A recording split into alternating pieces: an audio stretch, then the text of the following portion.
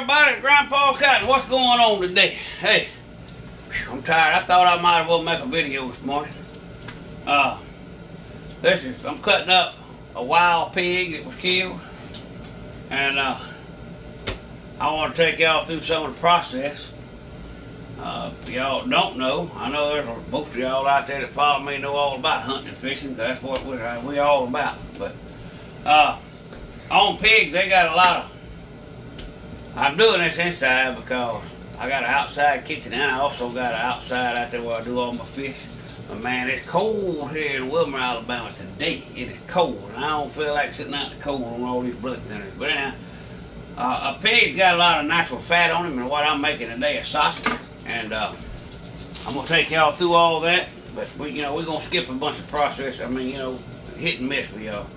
Uh, this is what I use right here old plantation sausage mix. I use old plantation sausage mix, a little sage and cayenne pepper.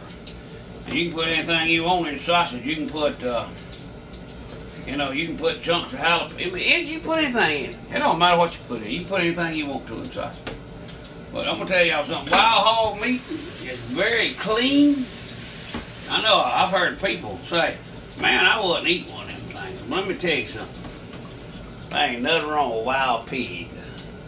Old boar now he's he's strong. I mean you don't want to really keep old boar. You wanna you wanna try to keep a young pig, kill a young pig, and see it's got a lot of tendons and all in the meat. And I trim out a lot of tendons now. This uh, grinder I got right here, I've had it for years.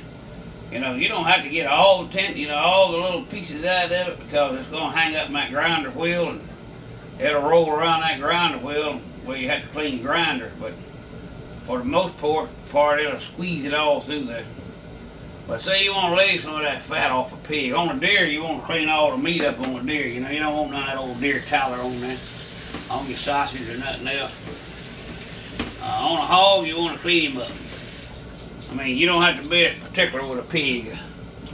See all that right there, we're going to trim all that off. All that'll come off from.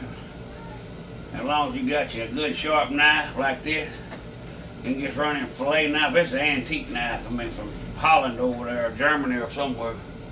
I mean, you can't even make one of them, no- get one of them no more. I don't.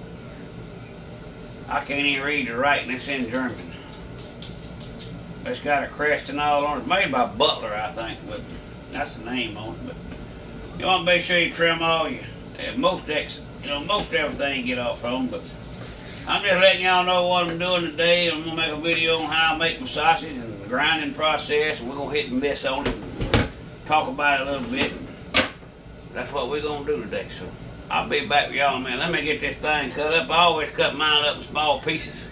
Right here, you know, big little smaller chunks, and I run them through my grinder, and then I mix all my seasons together. But hey, we're gonna we're gonna figure it out.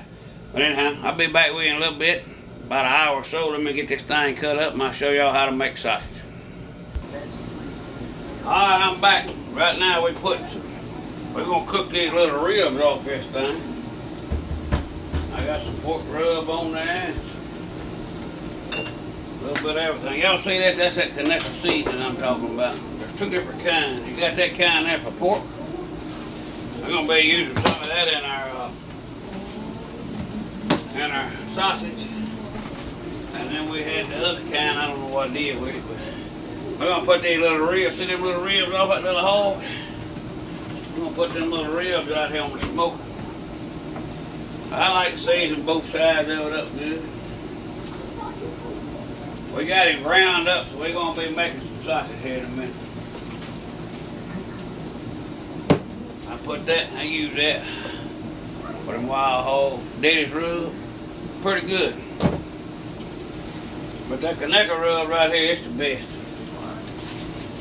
You ain't gonna get no better than that right there, I'm gonna tell you. That right there is delicious. I know my kitchen's a mess, but hey, that's what happens when you get in here and you do all this work. Anybody shot any pigs this year? I'd like to know if you have. Just let me know. We're gonna put a little bit more in and we're gonna put these suckers on that grill. Now, before we get through with video here, I'm gonna go out there and show you what they look like while they're cooking. But Y'all hang on, let me go get these on the grill and we'll get back to making some sausage and I'll show you how Grandpa makes his sausage.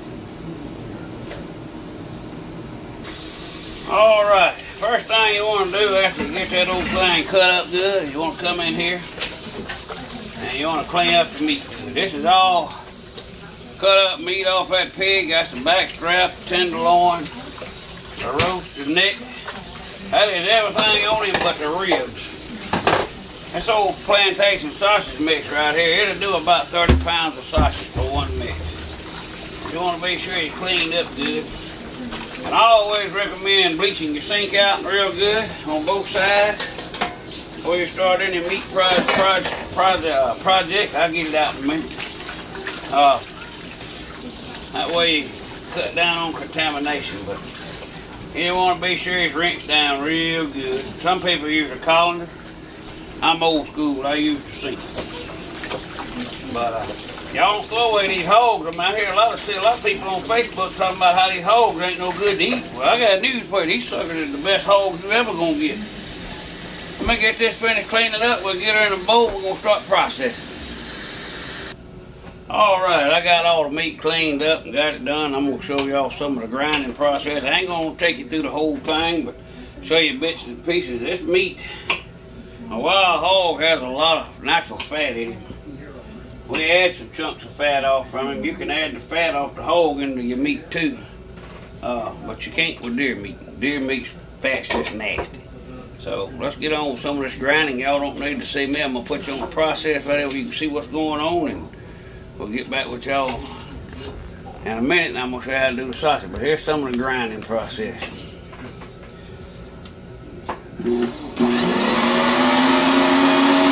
It's noisy, so hey. Bear with me.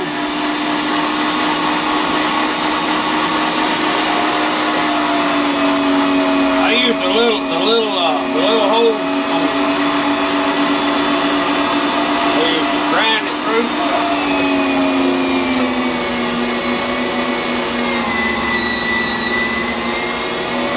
There's an old grinder, y'all. She's slow but steady like Coco. Y'all see that coming out there?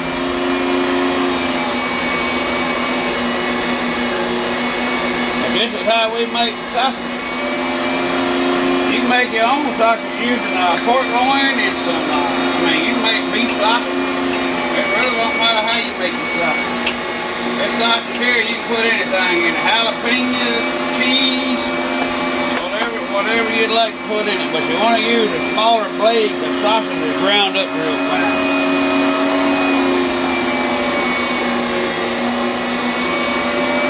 So he got plenty of fat in. Got all that fat in that meat there, that's what you want. Makes good sausage. If you don't have no fat in it, you need to add a little fat.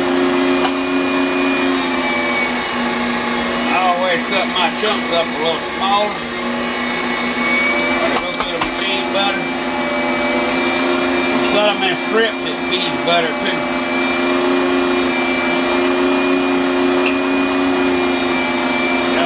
don't take no time to make a meat.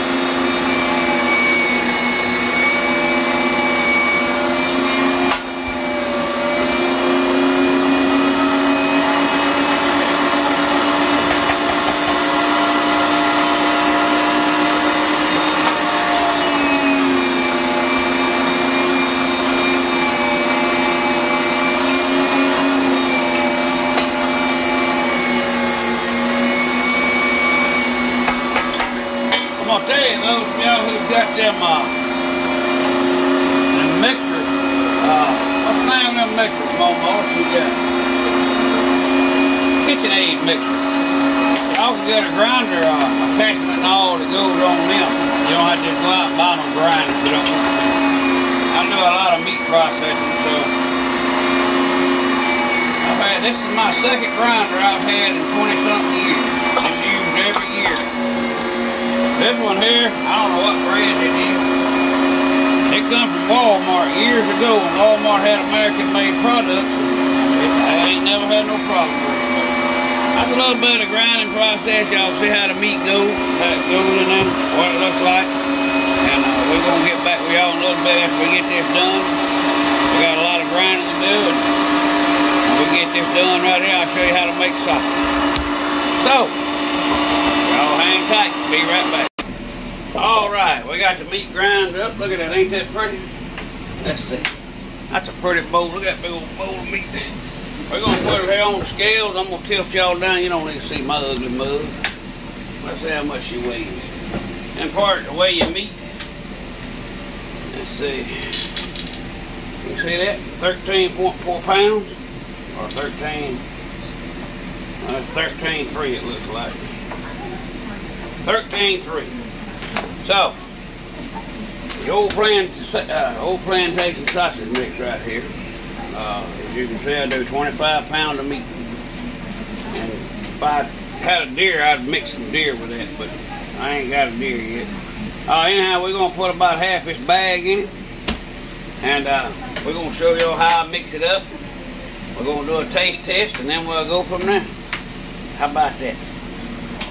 All right, we're back. I'm to show you how I mix it. Uh, you don't need to see my old mug, so we're gonna put you down here in the pot. How about that? Y'all see that? We're gonna take an old plantation sausage mix here. We're gonna just sprinkle a good bit in there for a minute, like that.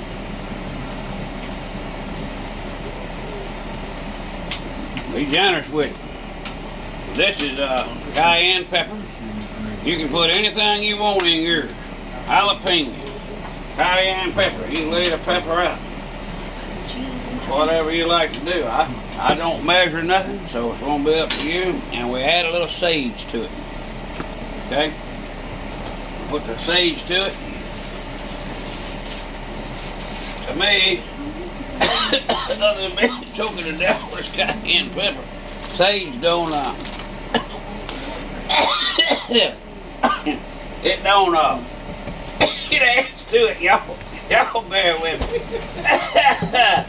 Woo! That went up his nostrils. ah, y'all gonna get a bloops and blunder video from me one of these days. I do enough blooping online on when I'm on here, but I just mix it up, with my hand like that, and uh, get the way I want it done, like this here, and uh, that's the way we do it. I kind of pick it up give it a whiff, and it ain't where I want it, I add more stuff to it. I know I gotta add a half a pack of this in it to begin with. So I mean that's that's your sausage mix there. That's your give and take. I'm gonna add just a hair bit more sage, like this.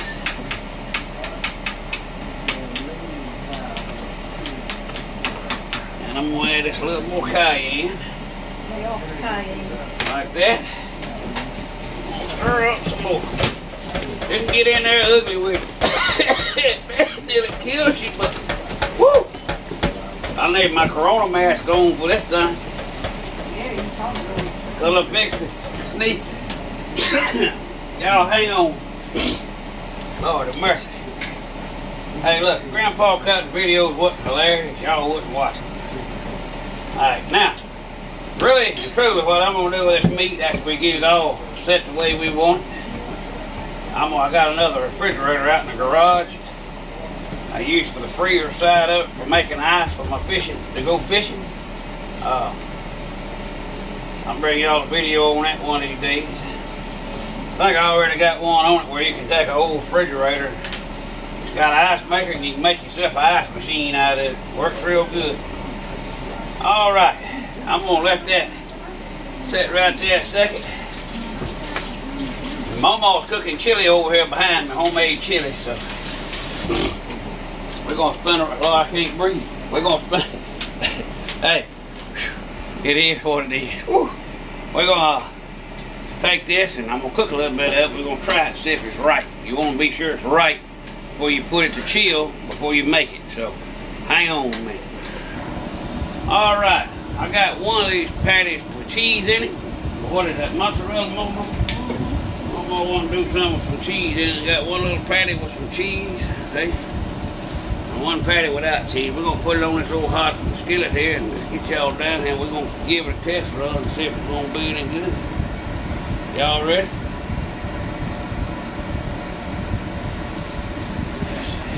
one end is crooked.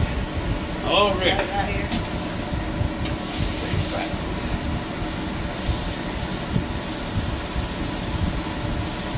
made that with a cheese a little big. But this is a test run on the meat, on what it tastes like, and uh, what it'll be like whenever it gets done. Should cook up real easy. Got a lot of fat in it. Let's give it about a second and uh, let it cook for a few minutes and I'll be right back with y'all.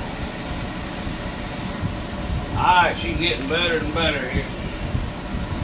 Chili smelling good in that big pot, Momo. Oh, that cheese looks pretty. Might should added a little bit more fat off that old pig. He ain't got a lot of grease. See on them wild hogs, they don't have a lot of grease, so sometimes you have to add butter or olive oil to your skillet when you're cooking. That way it don't stick. Let's give it a few more minutes. We're still cooking on similar little piggy press. Ain't that cute?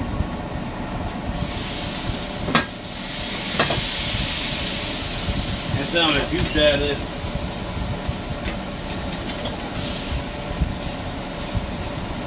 More, they get.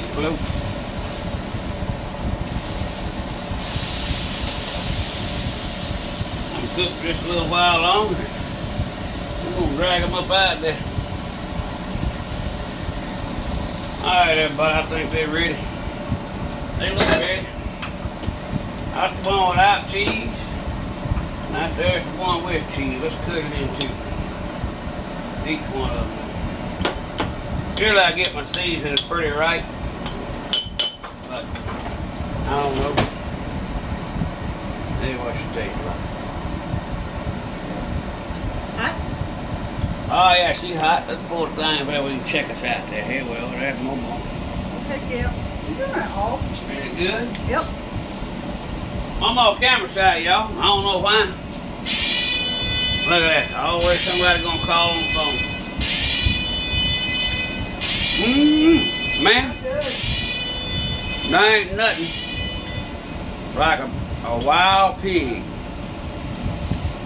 That's our grandpa. Oh, that's good. Mm. Oh, okay. Yeah. Mm, mm. Right, that right there. Oh, okay. That's the way. So That's what it was like with the cheese. You can do the cheese, the jalapeno, and all that. Mm, it's good. Well, that's the way Papa makes it. Wild hog. Y'all remember, take a kid fishing, take a kid hunting. That's what we're supposed to do. Y'all get your hunting pictures in. I know you're saying. We're giving away skull mount, so hey, that's what we do. Till next time, Grandpa Cotton. Gone!